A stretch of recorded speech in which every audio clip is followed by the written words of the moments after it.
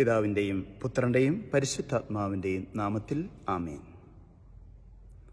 പരിശുദ്ധ ദൈവമാതാവിന്റെ ജനന തിരുനാളിന് വേണ്ടി ഒരുങ്ങിക്കൊണ്ടിരിക്കുന്ന വിശ്വാസികളേവർക്കും സ്നേഹവന്ദനം. പരിശുദ്ധ ദൈവമാതാവിന്റെ ജനന തിരുനാളിന്റെ ചരിത്ര പശ്ചാത്തലവും അതോടൊപ്പം മാതാവിനെ സംബന്ധിക്കുന്ന ചില പ്രതീകങ്ങളുമാണ് ഈ പ്രഭാഷണത്തിന്റെ വിചാരമായിട്ട് പങ്കുവയ്ക്കുവാൻ ആഗ്രഹിക്കുന്നത്. ആറാം നൂറ്റാണ്ടിൽ പൗരസ്ത്യ സഭയിൽ ഉടലെടുത്ത് ഏഴാം നൂറ്റാണ്ടിൽ പാശ്ചാത്യ സഭയിലേക്ക് വ്യാപിച്ച് പിന്നീട് ഒരു രണ്ട് നൂറ്റാണ്ടുകൾ കൂടി കഴിയുമ്പോൾ ആഗോള സഭയിൽ മുഴുവനായി ആഘോഷിക്കപ്പെട്ട ആചരിക്കപ്പെട്ട അല്ലെങ്കിൽ പെട്ടുകൊണ്ടിരിക്കുന്ന ഒരു തിരുനാളാണ് പരിശുദ്ധ ദൈവമാതാവിന്റെ ജനന സെപ്റ്റംബർ മാസം എട്ടാം തീയതിയാണ് ഇന്ന് ഇത് സഭയിൽ കൊണ്ടാടുന്നത്. തീയതികളൊക്കെയും രൂപപ്പെട്ടത് രക്ഷാകര സംഭവവുമായി ബന്ധപ്പെട്ട് പഞ്ചാംഗം സൃഷ്ടിക്കുമ്പോൾ ഒരു ആരാധനക്രമ വത്സരത്തിൽ എല്ലാ തീയതികളെയും ഉൾക്കൊള്ളത്തക്കവണ്ണമുള്ള ഒരു ക്രമീകരണത്തിലൂടെ രൂപപ്പെട്ടതാണ്. അങ്ങനെ നോക്കുമ്പോൾ ഡിസംബർ മാസം എട്ടാം തീയതി അമലോത്ഭവ തിരുനാൾ. പരിശുദ്ധ അന്നയുടെ ഉദരത്തിൽ മാതാവ് ഉരുവായ ആ ദിവസമാണല്ലോ അത്. അന്നു മുതൽ ഒൻപത് മാസം പിന്നിടുമ്പോഴാണ് സെപ്റ്റംബർ മാസം എട്ട്. അങ്ങനെ ഒൻപത് മാസത്തിന്റെ ഒരു കണക്കിലാണ് പരിശുദ്ധ ദൈവമാതാവിന്റെ ജന്മത്തിരുന്നാൾ സെപ്റ്റംബർ എട്ടായിട്ട് ആചരിക്കുന്നത്. നമ്മുടെ കർത്താവിന്റെ ജനനത്തിരുന്നാളിനും ഇതേപോലെ ഒരു കണക്കുണ്ട്. വചനിപ്പ് തിരുനാൾ മാർച്ച് മാസം ഇരുപത്തിയഞ്ചാം തീയതിയാണ്. ഡിസംബർ മാസം ഇരുപത്തിയഞ്ചാകുമ്പോൾ ഒൻപത് മാസം പൂർത്തിയാകും. ആരാധനക്രമ സംവത്സരത്തിലെ പ്രതീകങ്ങൾ അല്ലെങ്കിൽ ഇതേപോലെയുള്ള തീയതികളൊക്കെയും നിജപ്പെടുത്തിയത് ഇപ്രകാരമുള്ള ചില കണക്കുകൂട്ടലിന്റെയൊക്കെ അടിസ്ഥാനത്തിലാണ്. മാതാവിനെ സംബന്ധിക്കുന്ന ചില പ്രതീകങ്ങൾ അല്ലെങ്കിൽ ഇതിന്റെ പശ്ചാത്തലങ്ങളൊക്കെയും അറിയുവാൻ വിശുദ്ധ ഗ്രന്ഥത്തിലുള്ളതിനേക്കാൾ കൂടുതൽ തെളിവുകളുള്ളത് പ്രോട്ടോ കാനോനിക്കൽ ബുക്സിൽ അഥവാ അപ്പോക്രീഫൽ ബുക്സിലാണ്. എ ഡി നൂറ്റി അൻപതിൽ വിരചിതമായ proto evangelium of saint James യാക്കോബിന്റെ സുവിശേഷം എന്നറിയപ്പെടുന്ന ഒരു അപ്പോക്രിഫൽ ഗ്രന്ഥത്തിലാണ് മാതാവിന്റെ ജനനവും ബാല്യവും ഒക്കെ പരാമർശിച്ചിരിക്കുന്നതും അതിലൂടെയാണ് ഈ പാരമ്പര്യ സത്യങ്ങളൊക്കെ രൂപപ്പെട്ടിരിക്കുന്നതും. അതിൽ പരാമർശിച്ചിരിക്കുന്നതനുസരിച്ച് യവാഖ്യുവിന്റെയും അന്നയുടെയും മകളായിട്ട് പരിശുദ്ധ അമ്മ ജനിക്കുന്നു. വൃദ്ധ ദമ്പതികൾ വന്ധ്യതയുടെ അവേദനയിൽ പ്രാർത്ഥനയിലും ഉപവാസത്തിലും കഴിയുമ്പോൾ ദൂതൻ പ്രത്യക്ഷപ്പെട്ട് അവരെ മാതാവിന്റെ ജനനത്തെപ്പറ്റി അറിയിക്കുന്നു.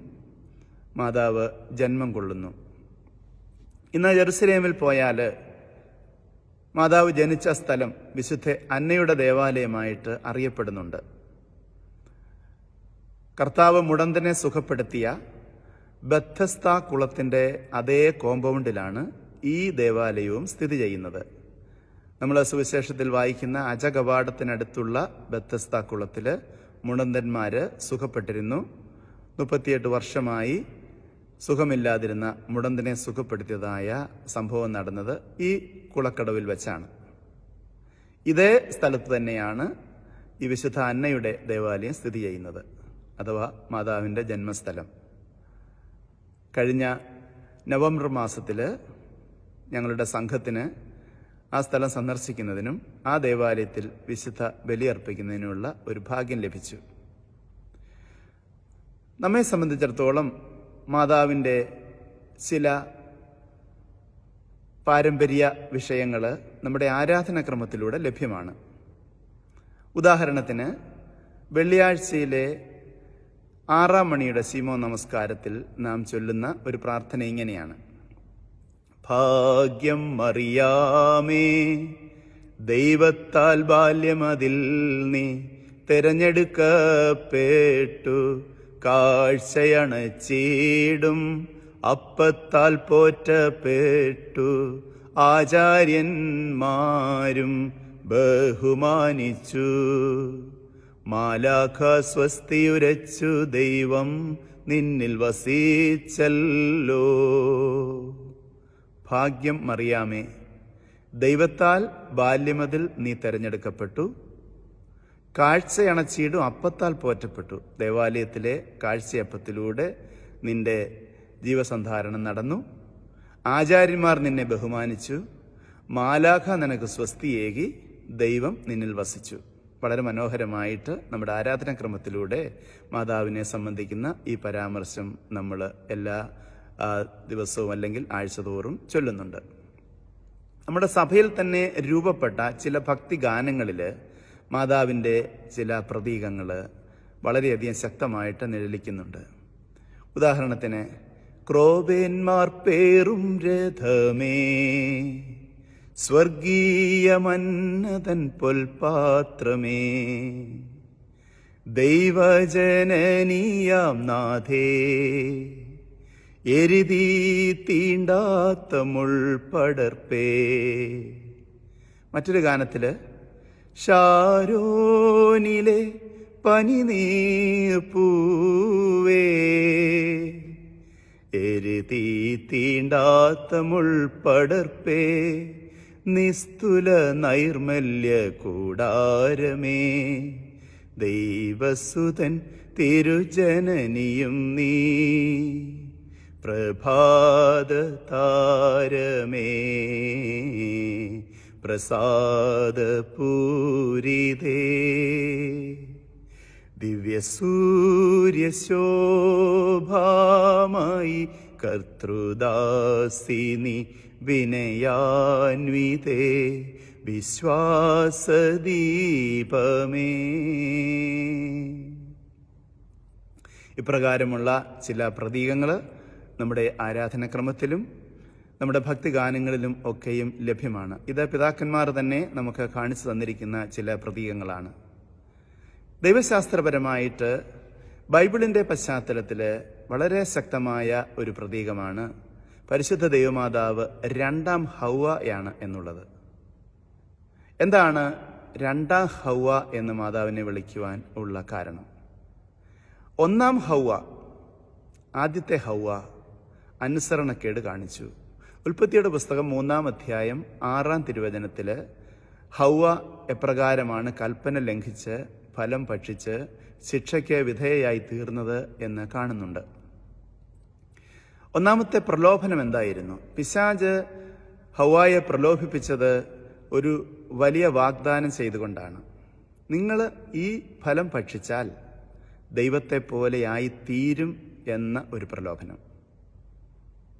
നമുക്കറിയാം എല്ലാ സൗഭാഗ്യങ്ങളും നിറഞ്ഞിരുന്ന ഏതൻ തോട്ടത്തിൽ അവർ ജീവിക്കുമ്പോഴും ഈ ഒരു ചെറിയ പ്രലോഭനത്തിൽ അവർ വീണുപോയി. കാരണം തങ്ങൾക്ക് ദൈവത്തെ പോലെ ആകാം എന്നുള്ള ഒരു ആഗ്രഹം. മനുഷ്യന് എല്ലാം ലഭ്യമാണെങ്കിലും ദൈവമായി തീരുവാൻ അല്ലെ ദൈവത്തെ പോലെയായി തീരുവാനുള്ള വലിയ ആഗ്രഹം. അവിടെയാണ് അവിടെ മനുഷ്യൻ പതറിപ്പോയതും പാപം ചെയ്യുന്നതും മനുഷ്യരാശിക്ക് ഒരു വലിയ ശാപം ഏറ്റെടുക്കേണ്ടതായ സാഹചര്യമുണ്ടായതും.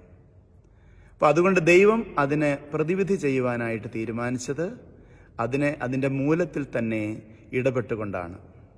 മനുഷ്യൻ ദൈവമായി തീരുവാൻ ആഗ്രഹിച്ചിടത്ത് ദൈവം മനുഷ്യനായി തീരുവാൻ ദൈവം തിരുമനസ്സായിക്കൊണ്ടാണ് അതിന് പരിഹാരം ചെയ്തത്. തൃത്വത്തിലെ രണ്ടാമത്തെ ആളായ പുത്രൻ തമ്പുരാൻ മനുഷ്യാവതാരത്തിലൂടെ മനുഷ്യത്വത്തിലേക്ക് കടന്നു വരികയാണ് ചെയ്തത്. ഒരു മനുഷ്യന്റെ എല്ലാ ബല ബലഹീനതകളും സ്വീകരിച്ചുകൊണ്ട് പൂർണ മനുഷ്യനായിട്ട് എങ്ങനെ ഒരു മനുഷ്യൻ പൂർണതയിൽ ജീവിക്കാമെന്ന് അവിടുന്ന് തന്റെ മനുഷ്യാവതാരത്തിലൂടെ കാട്ടിത്തന്നു. അങ്ങനെ മനുഷ്യാവതാരം ചെയ്യുവാനായിട്ട് തെരഞ്ഞെടുത്ത വ്യക്തി രണ്ടാമത്തെ ഹവയായ പരിശുദ്ധ അമ്മ.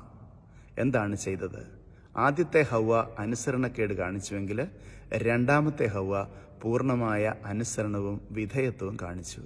മംഗലവാർത്ത സമയത്ത് കൃപ നിറഞ്ഞവളെ സ്വസ്തി എന്ന് ഗബ്രിയേൽ ദൂതൻ അഭിവാദ്യം ചെയ്ത് നിമിഷത്തിൽ. അവൾക്ക് സംശയങ്ങളുണ്ടായി. ആ സംശയങ്ങളൊക്കെ ദൂരീകരിച്ചു. പരിശുദ്ധാത്മാവിലാണ് അലാണ് ഇത് സംഭവിക്കുന്നത്.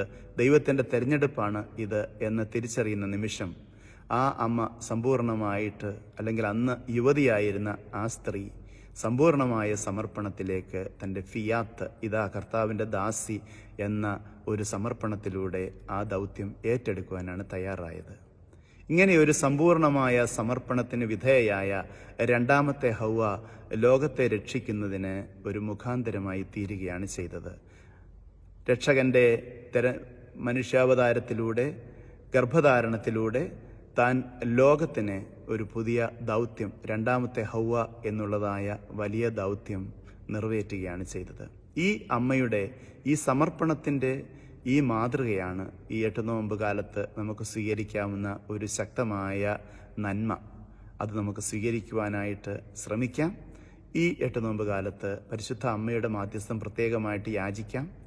ഇന്ന് മനുഷ്യൻ ദൈവമായി തീരുവാൻ അല്ലെങ്കിൽ മനുഷ്യൻ ദൈവത്തെ ഇന്ന് സ്വന്തം കാര്യങ്ങൾക്ക് വേണ്ടി ഉപയോഗിക്കുന്നതായ ഒരു പ്രവണതയുള്ള ഒരു ഒരു വളരെയധികം കൊമേഴ്ഷ്യലായ ഒരു ലോകത്തിൽ നമ്മൾ ജീവിക്കുമ്പോൾ നമുക്ക് ഈ വിചാരം ഒന്ന് ശക്തമാക്കാം. എത്രമാത്രം സമർപ്പണം നമുക്കുണ്ട്. എത്രമാത്രം വിധേയത്വം നമുക്ക് ഉണ്ട്. അതിന് പരിശുദ്ധ അമ്മ എത്രമാത്രം നമ്മളെ സഹായിക്കുന്നുണ്ട് എന്നോർക്കാം. അമ്മയുടെ മാധ്യസ്ഥം അതിനുവേണ്ടി നമുക്ക് യാചിക്കാം. അതിന്റെ കൃപ നമുക്ക് കൂടുതലായിട്ട് ലഭിക്കട്ടെ. ഈ എട്ട് നോമിന്റെ എല്ലാ ആശംസകളും ഒരിക്കൽ കൂടി നേർന്നുകൊണ്ട് പിതാവിന്റെയും പുത്രന്റെയും പരിശുദ്ധാത്മാവിന്റെയും നാമത്തിൽ ആമീൻ. പരിശുദ്ധ ദൈവമാതാവേ ഞങ്ങൾക്ക് വേണ്ടി അപേക്ഷിക്കണമേ.